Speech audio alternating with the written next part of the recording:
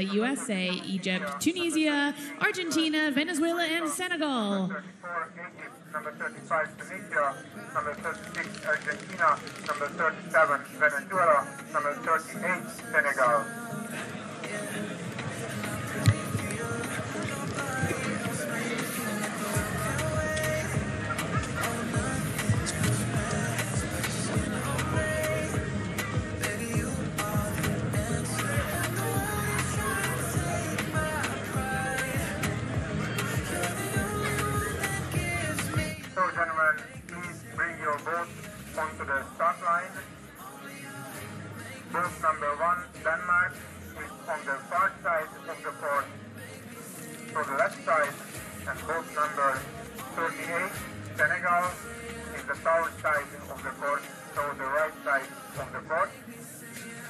Boat number one, Denmark.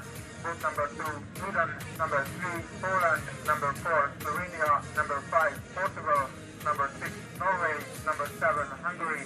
Number eight, Slovakia. Number nine, Germany. Number ten, Italy. Number eleven, Finland. Number twelve, Kyrgyzstan. Number thirteen, Cyprus. Number fourteen, Ukraine. Number fifteen, the Netherlands. Number 16, Estonia. Number 17, Czech Republic. Number 18, Korea. Number 19, Algeria. Number 12, New Zealand. Number 21, Canada. Number 22, Iran.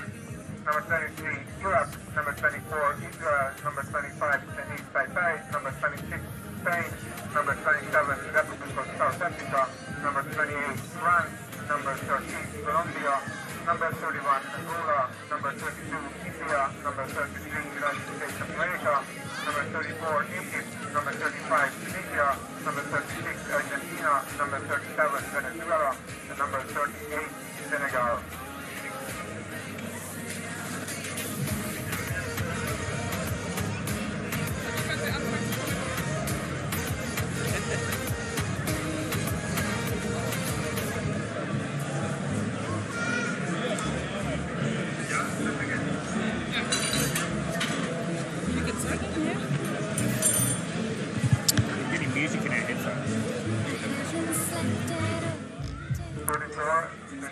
welcome back to Duisburg. Welcome back to the final race. We're finally here, Elise Wood. We're going to get underway. We had a bit of a break there for a thunderstorm. It was a bit scary for a little while. It was a bit. I thought it might set in for a bit longer, but it's blue skies here and ready to go. It's not warmed up, I have to say that much. So, where's your jumper? You had a jumper on before and you've taken it off, and I think you're regretting it already, aren't you? I am, I am. A bit of sun and the jumper's off. We're, uh, we're balmy as. So the final race of the competition, it's the men's K1 5000, and look at that field. They're spread out across the course.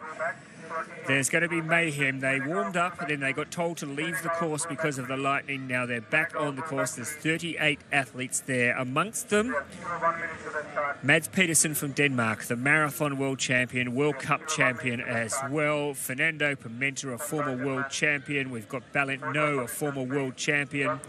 We've got uh, Joakim Lindberg from Sweden, the reigning world champion. This is a field full of class.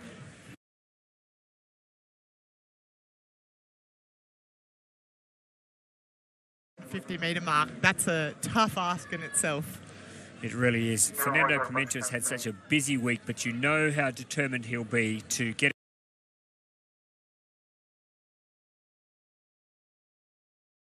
will be to get out and get amongst this. Hates the portages, and it shows because he's not very good at them. Although he has improved, I think he's been practicing. Absolutely.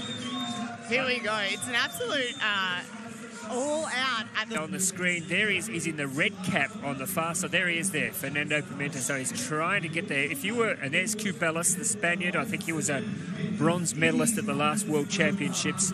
Uh, so you know that he'll be up there threatening at some stage. But if you were smart, you'd probably try and keep Pimenta out wide as long as you could.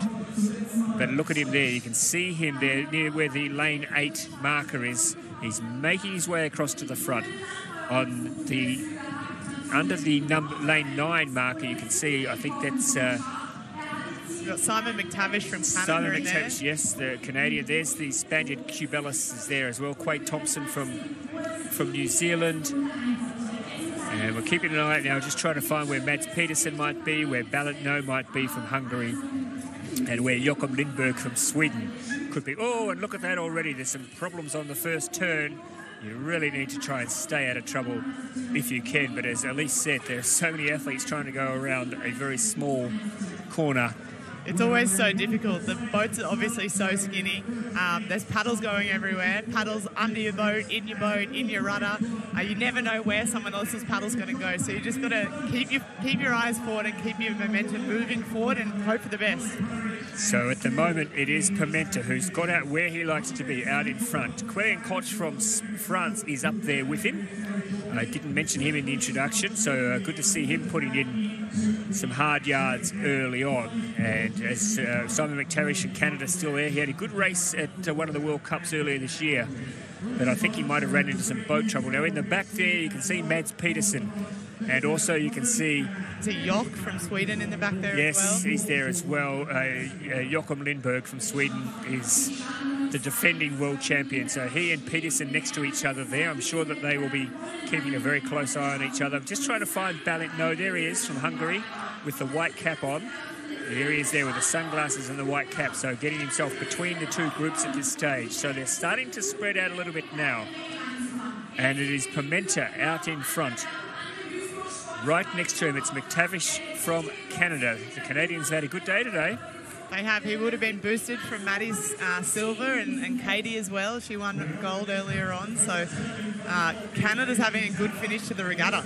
And also in that group there, we've seen the Argentinian, uh, of course, Rodriguez, Agustin Rodriguez, who's up there sitting in third at the moment. So, oh, but he's just clipped the buoy, but no damage done. And Thompson from New Zealand in the uh, in the black singlet, just getting out there, showing off the showing off the biceps, looking quite quite pumped. Isn't he? The sun's out, guns out. Sun's out, guns out. It's uh, this, of course, is a warm.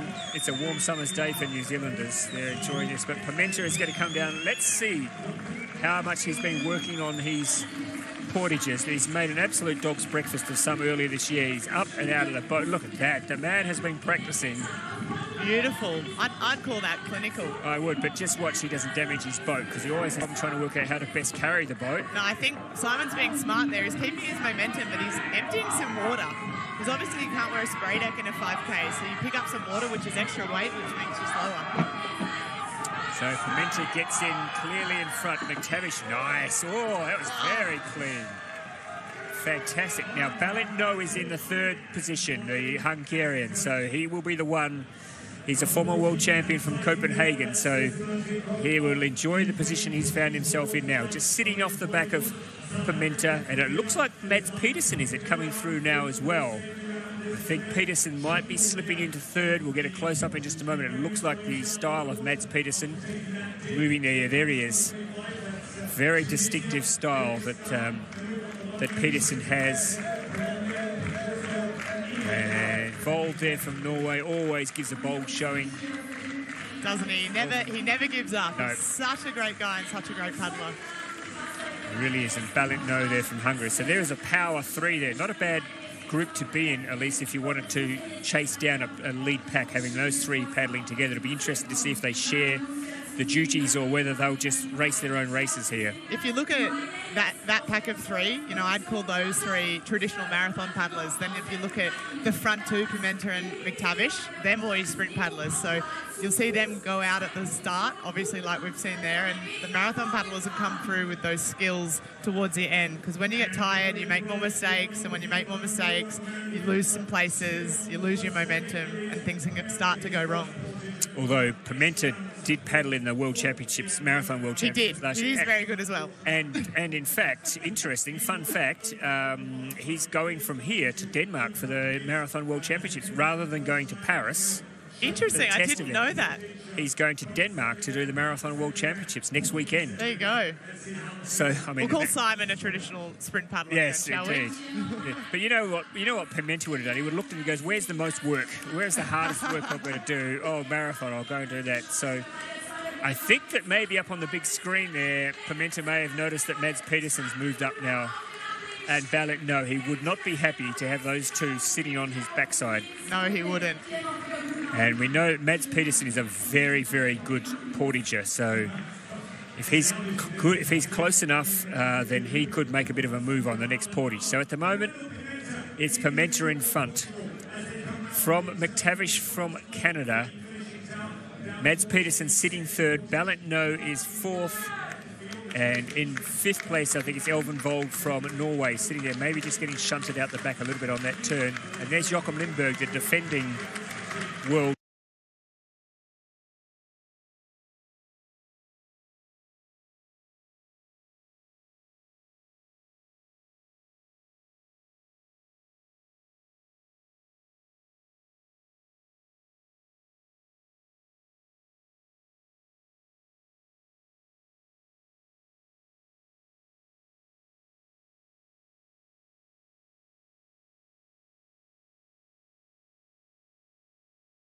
For men to be thinking now, you know, does he try and take the lead again, or does he?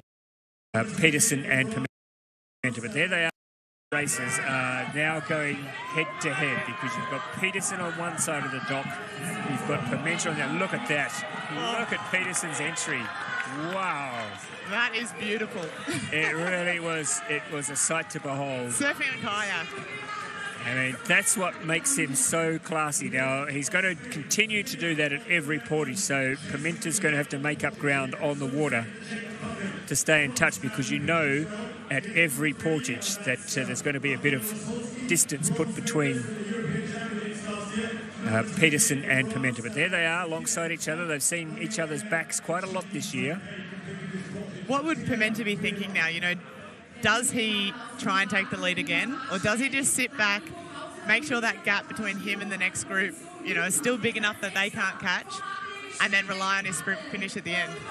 Uh, I think I think you're right. I think if he is in that, if he's this close, come to a sprint, I think he would back himself in uh, against Pedersen. Pedersen's no slouch, by the way, but Pimenta is just such a powerful, a powerful paddler.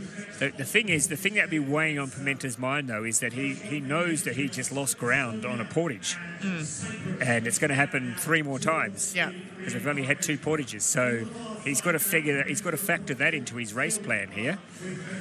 He, he's probably also expending a little bit more energy in those portages. You know, it's not as smooth, I guess, or as um, second nature for him as, as what it might be for Pedersen. So uh, that all plays into the fatigue levels as well. So at the moment, they have cleared out to a clear gap. You've got uh, Simon McTavish in no man's land, and, and at least you've done a lot of these races. That's you don't really want to be in that place, do you? Where you're just paddling by yourself in the middle of nowhere. You don't. It's a scary place to be because you know the pack behind you is catching you quickly, and you can also kind of tell that you're losing ground on the front. So it's a lonely place, but it's also a safe place. You don't have anyone pushing you in around corners. The portage, you can be a bit safer. So not such a bad thing as long as you can keep your gaps. So at the moment, it is Mads Pedersen in front. Fernando Pimenta just sitting off the back of Mads Pedersen's boat. Just Pimenta making sure that Pedersen knows he's there. And then the gap to Simon McTavish from Canada. Were you at the? Uh, you were part of the Australian programs when Simon McTavish was paddling. I was. Yeah, yeah, It yep. was. Been around for a while. He was. Uh, he was. I mean, he was a big loss to the Australian program, but Australia's loss is Canada's gain. Obviously, he's He is, and he's he's done such a great job with Canada as well. He's been a long-term member of their K4 now, and um, was in the K2 final today, which was a very very tight final. So it's good to see him doing well. So here we go, down to another portage. Let's see the difference here. As you can see Mads Pedersen putting in some long strokes here, wanting to make sure that Pimenta is nowhere near him. Interestingly, Pimenta kept his nose on the outside for a fairly long time He before did. swinging in. And this time they go to the same side. And look at the difference. Look at that difference. This is problematic for Pimenta because Pedersen is so fast in and out of the boat. Pimenta may be uh, a bit quicker on the in the run though, but it's just getting in and out of the boat which is causing problems for Pimenta. Let's watch this. Just watch the Dane. Beautiful. Look at that. That is. Meanwhile, Pimenta plops himself into the boat and You have to have some confidence to do that. You do. Now, there is the defending world champion. Is he making a bit of a move here? Joakim Lindberg from Sweden. He, he won the world title last year and he's making a bit of a move. And he's jostling there with Nico Paufler from Germany. So two very good paddlers going with each other there. And looks like Elvin Vold as well has slipped back through the field and is now in that. I think that's the third group. So The Germans are loving that though. I love it so much. Did you see Sebastian Brendel I did. on a portage with one lap to go, pumping up the crowd? Give the people what the people want. Give exactly. They paid money to watch. they paid money to come and watch me paddle, and I'm going to give them some to give them their money's worth. So now, Mads Pedersen. He probably can see as he comes around the bend. Maybe he can catch the big screen. He's got a chance here to put a bit of a gap on between himself and Pimenta. Simon McTavish looking like he's done a truckload of work there and struggling to stay in touch. But he's not a million miles behind.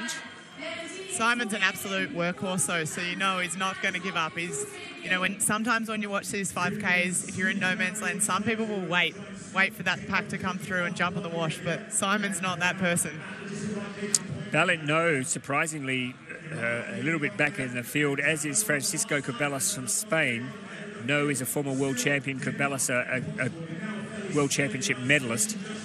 But they've got a little bit of work. This is the man here at the front of that pack there, Jakob Lindberg, who will be eyeing off Simon McTavish. He'll be looking at McTavish and he'll be thinking, well, first of all, I'm going to take that bronze medal position and then I'll have a crack at the leaders. But I tell you what, though, Elise, you wouldn't want to be leaving yourself too much work to do to, ca- to catch Ballin, uh, to catch these two, Mads Pedersen and Fernando Pimenta. No. They'll just be pulling away, slowly but surely pulling away from the rest of the pack. They're looking comfortable, hey? Pimenta, he's looked up at this, he's having another look at the screen. He's probably just knowing Fernando Pimenta is looking to make sure he's got his hat on straight and everything's looking tickety boo. I thought I saw a bit of a smile there. Maybe he's quite satisfied with where he is. He looks pretty relaxed. What they need to start thinking about now is they'll start to lap a few of the competitors, and sometimes those competitors can get in the way. Yep. Um, if they split around those competitors, will Pimenta be able to grab the wash easily, or when they come across them in a portage, they can get in the way a little bit as well. So Pedersen and Pimenta have now really cleared out to a very clear lead. Unfortunately for Simon McTavish, he's in danger of being swallowed up here by Nico Paufler and Joakim Lindberg, who are moving up on him now as we head towards the portage. And now they go, for the first time, Fernando Pimenta has gone to this side of the dock. Let's see if it helps him. A bit better. A little bit better, yeah. A little bit better. Mads Pedersen in and out, though. Look at that. That is such a smooth style for Mads Pedersen. Now, Pimenta looking a bit faster over the ground, though. He's He does a lot of cross training, from what I can tell from his Instagram. So he'd be light on his feet, a good little runner. does give his thumbs a good workout on the Instagram, too. But look at that, the gap. Eh. I mean, this is a skills race, as you can see. You've got to be a good paddler. You've got to be able to cover the distance at a certain pace. But when you add a portage in there, you need to have those skills. so look at this. This is Simon McTavish. There's Joakim Lindberg. There's Nico Paufler. They are trying to catch the Canadian, and it's going to be a really interesting battle for third, I think.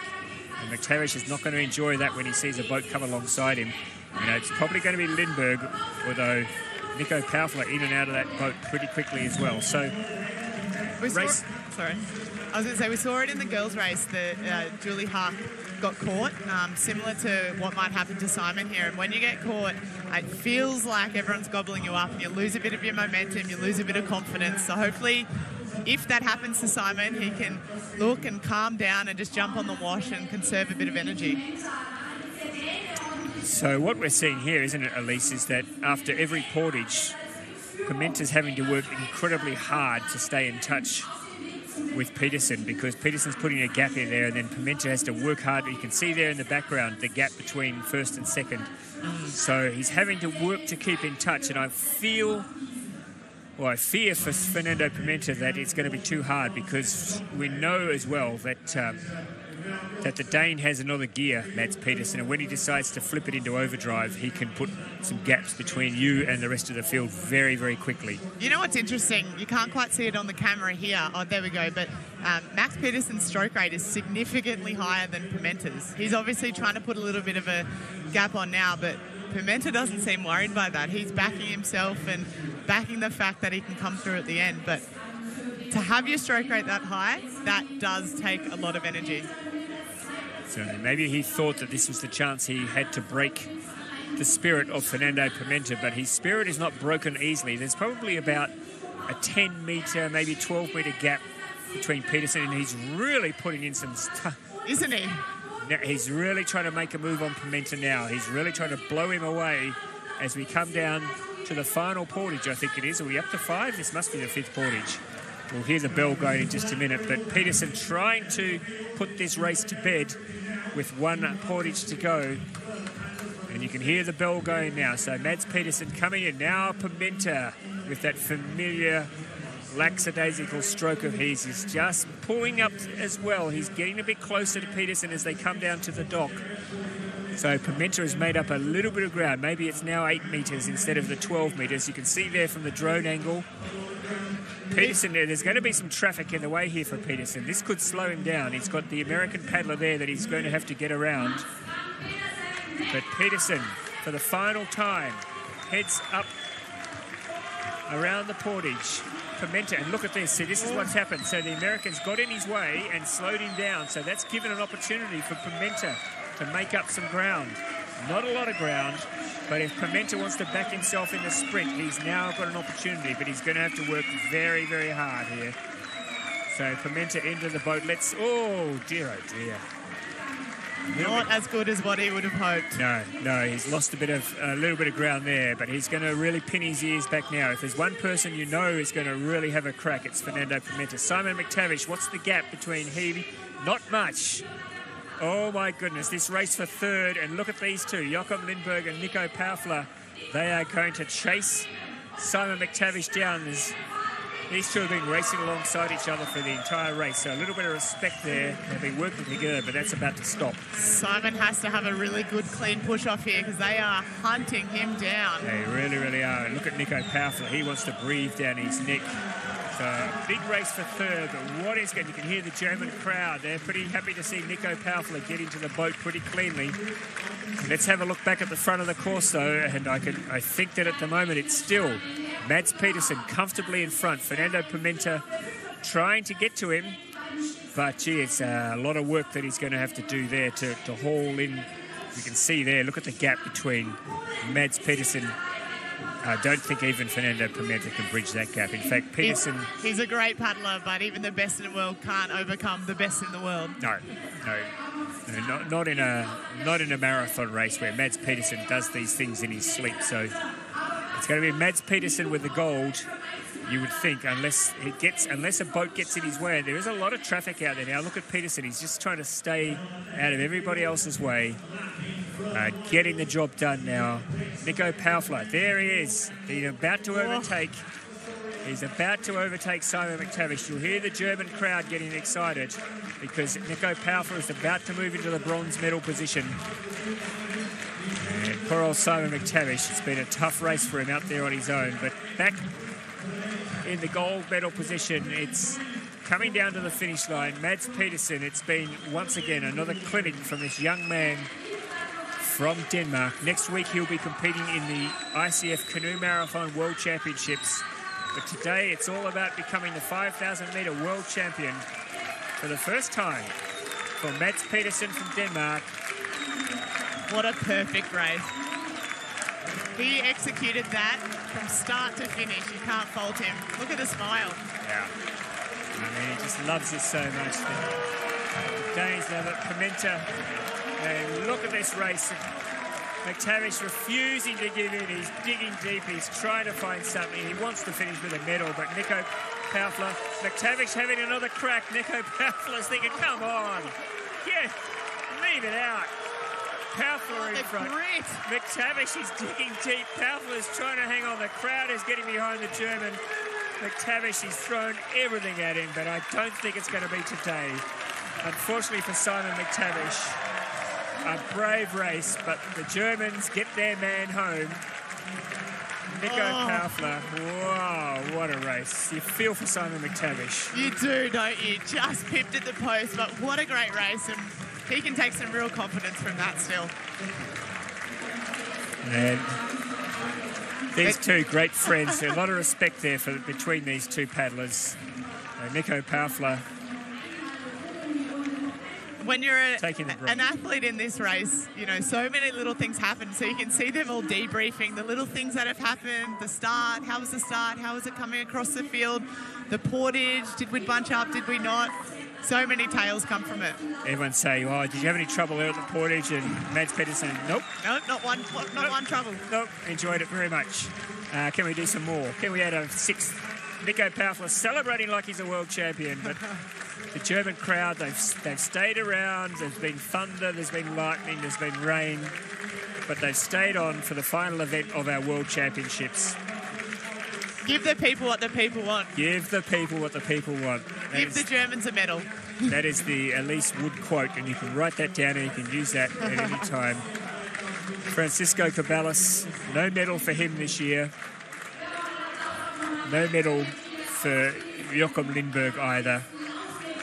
No medal either for Balint No from Hungary, who just really couldn't go with the speed early on. Found it very, very hard. But the man of the moment, as we've become so used to this year, is Mads Pedersen. He doesn't get beaten very often.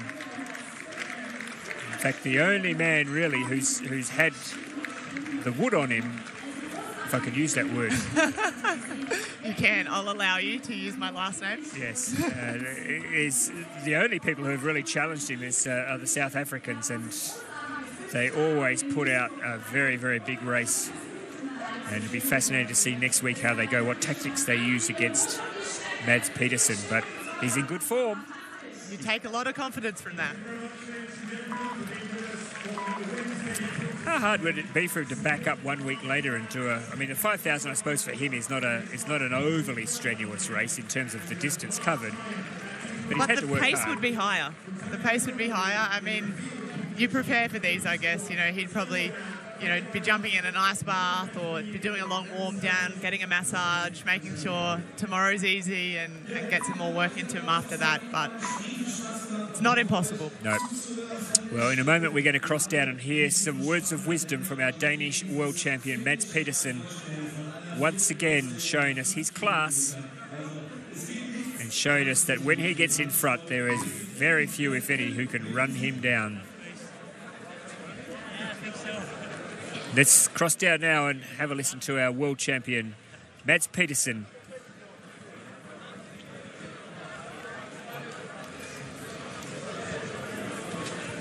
Mads Pedersen, you're the new world champion in 5,000 meter. You showed great technique in the portage. How key was it for your victory? But, um, to do a good portage here, it's, um, it plays a big role. It's uh, super important because it's one of the best places to get uh, away. And then if you break away, then you have to do a lot of hard work because there's a lot of waves. And also the competitors here, it's the best in the world. So to come here today and and take the win, that's uh, that's amazing, and I'm really happy. You already won the marathon world championship, but it's first time you won the sprint 500 meter world championship. What does it mean for you? Ah, it's uh, it's a big deal um, to win this 5,000 meter. That have been a big goal, and and my coach he won um, the 10,000 meter, the last one, uh, exactly um, 30 years ago uh, on this date. So uh, to win here, that's amazing. And it's a good warm up because next week in Denmark we have the World Championship in marathon, where I will do the short track and the standard distance marathon race. So to come away here with a win, that's uh, that's a pretty good preparation. Congratulations, Mads Pedersen from Denmark, world champion. Thank you so much. Yeah, you wouldn't want to bet against him at uh, World Championships in Denmark. He will be very, very hard to beat. And uh, you can watch all of the coverage, by the way, of our canoe ICF World Championships uh, on uh, recast next week. Elise Wood, thank you so much for being part of it. I should say, uh, congratulations, by the way, not only for the, the quota that you earned, but also back on the water a year after having baby Florence. Thank you, thank you. It's so good to be back. I've loved racing here this weekend. Um, love being back part of the whole movement, and um, excited for the next year. Well, and we know how much everybody's loved having you back here. Good luck. I know you're going to Par- you're going to Paris to try out the, the venue this week, and uh, good luck with that. Good luck with your preparations for Paris next year. Thank you. Thank you for slipping into the commentary box. Thank you, everyone at home, for being part of our broadcast over the last few days. It's been an absolute pleasure to bring you this World Championships. We've seen some incredible racing. We've seen some wonderful World Championships champions crowned, but we've seen some wonderful athletes as well. They didn't all win medals. They didn't all win quotas, and they've come from all corners of the globe to be here. And it just shows the global reach of our sport. It is super exciting. We are very, very excited to have 12 months in front of us to build up to the Olympics, of course, and one year from tomorrow, it'll be the Paralympic Games in Paris. It's so exciting, it's so close you can almost touch it. Thank you to everyone who's been part of the uh, production team for this event. We'll see you again very soon. Over and out.